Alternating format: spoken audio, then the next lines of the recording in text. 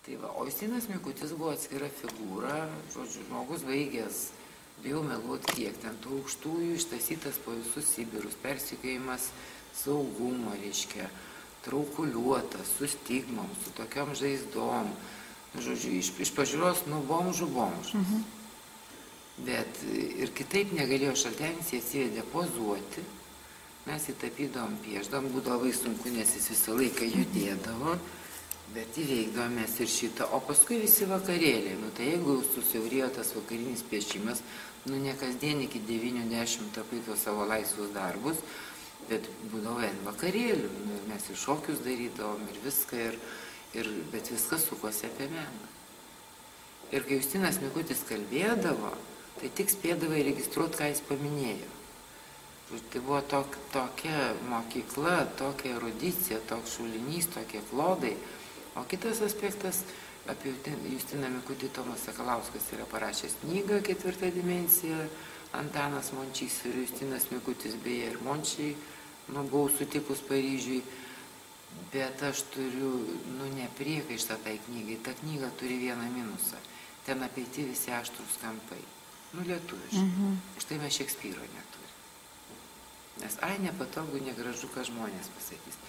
O Justinas Mikutis be, be to savo bagažo, žodžiu, nu, erudicijos, jisai buvo, reiškia, kaip lakmuso popierėlis.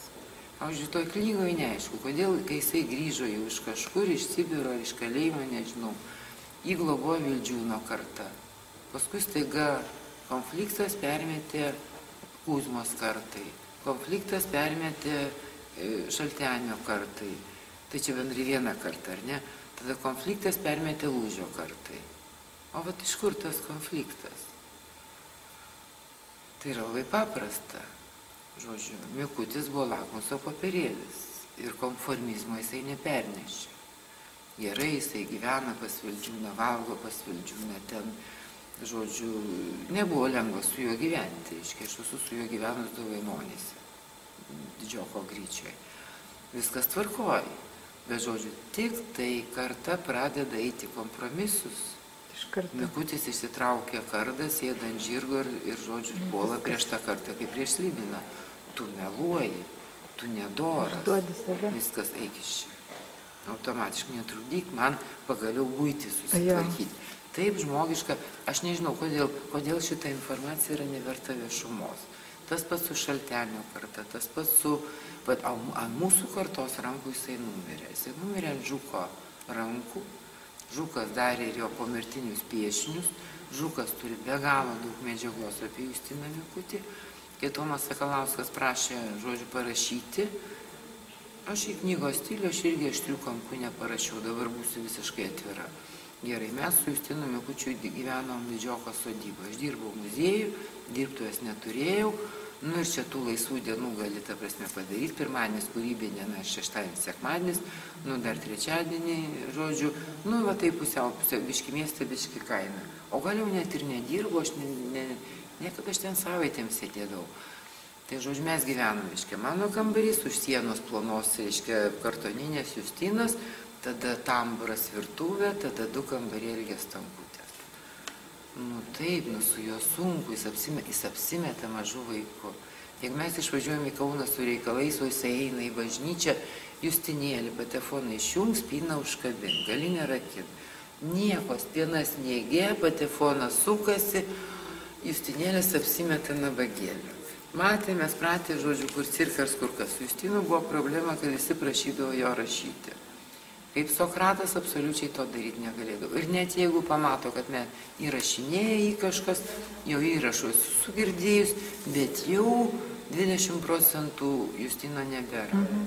Nu va toks, tiek, kiek liko mumise, jis pakankamai daug mums priešnekėjo, va tas ir yra Justinas Mikutis. Nepagaunamas, aš galėčiau kolantą palyginti, ką padarė saugumas. Pirmiausia, atvažiavo į namus, kur jo daiktai ir buvo etažerė, tik etažerė, ten yra mažas skurdus namelis, žodžiu, viską, kas yra jo ranka rašyta, kas yra jis kaip asmenybė, e, iškiai išsivežė. Ir aš esu ieškojus tų sąsvinių. Nėra. Nėra. Lietuvoje tikrai nėra, aš praktiškai esu tikra. Tai va, tas pats su Justinu, ta prasme, čia saugumas neįsikišo, bet pas žmogus buvo. Tik tai kalbėti, tik tai kalbėti, tik tai. Mes irgi sulgytę ten tapom, žiema šalta, pečius kūrenam. Penas, penas sušalsim, organizuojam malkas. Negana to, organizuojam. Aš nupirkau stačią mišką. Tai čia ne malkas. Tai rogutėm, stačią mišką, tai dar tu dėdą suras, kuris tau nupjaus tą stačią mišką. Panas organizuojam bulves. Jau kai jis bandydavo būti ūkiškas, tai būdavo katastrofa. Žiūrėjau, mes turime steptukus. Panas, jis vis laik vaikšto ir daug. Aš jau sutariau su Anupru, važiuojat bulvių su rogutėm. Sušalsim, tai ten iš bado mirsim, tai dar ką nors. Nu ir geriausias, o tai čia reiškia, o geriausias panos, tai dabar turim pašlovinti. Pašlovinti, tai duodu pinigų, bėgat, nuperkat vyno. Nu ir šlovint. Šlovint, aišku, visada pasakiškai įdomu. Tai va, tokia buvo mūsų akademija. Institute tikrai išskirtinis laikas, išskirtinė žodžių stas, ta, ne statusas, o stafas, reiškia, tų mokytojų komanda ir mokiniai aplinkui irgi superinė komanda. Mes jau atėjom, radom Vaitkūną, radom Žuką, radom po mūsų buvo Stačkauskas. Žodžiu, tie dešimt metų maždaug mano yra, pavyzdžiui, svajonė, bet aš visiems siūlau, nes pati tikrai nepadarysiu. Tiesiog susirašyti dešimt metų, kas mokėsi institute, vat įmam lūžio kartą ir darom, pervažiuojam, susirenkam darbus, reiškia, bet ne ką duos. Turi žmogus pats susirinkti, susirasti tuos žmonės, nes labai daug yra, nu, darbinis pavadinimas tos parodos buvo dingę stebuklai. Mhm. Abramaitytė, Šidlauskas. En žmo- Šidlauskas buvo Nu, ne, ne, futurizmo neužsimsim, bet reiškia turėjo tokias, top, tokią pat gerą spalvinę klausą kaip Vaitkūnas, o gal net geresnė. Bet šiandien niekas nežino. Nes jis buvo kaimėtis ir vėl žmogus be alkūnių. Jonukas, Jonas Šidlauskas iškito iš instituto per anglų kalbą. Ir per, ne, per savo charakterį. Aš jam viską buvau išvertus, jam buvo viskas padaryta. Jam viso labo reikėjo nueiti nusišypsoti visgirdieniai ir, žodžiu, priduoti tuos nu, mano padarytus darbus.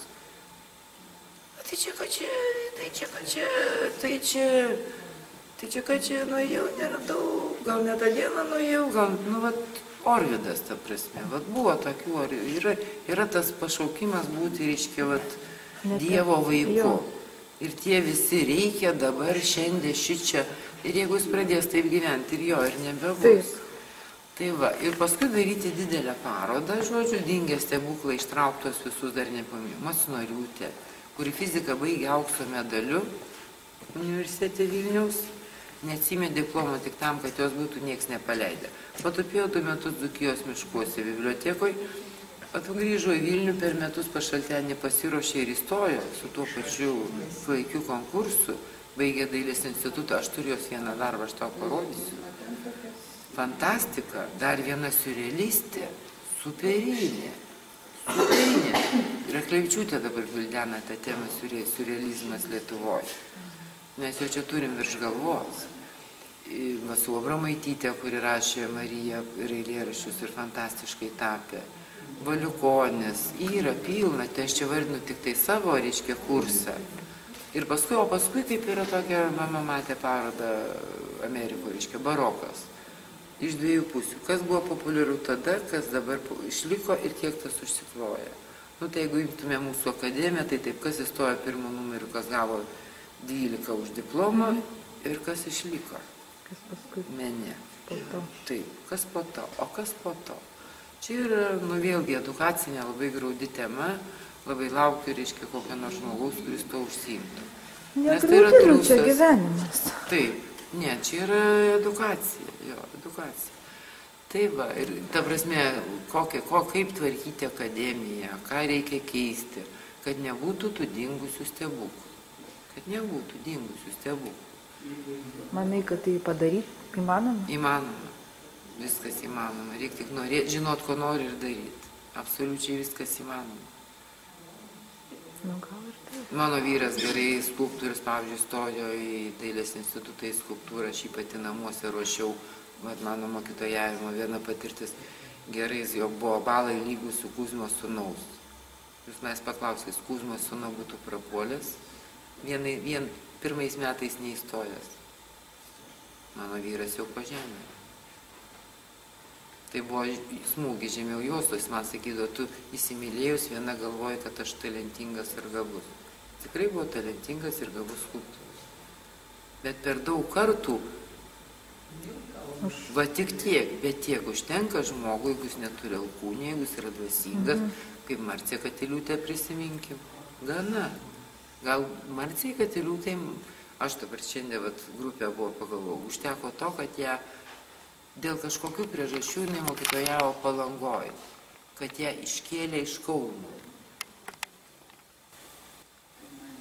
Tai va taip aš tapau to, ko esu.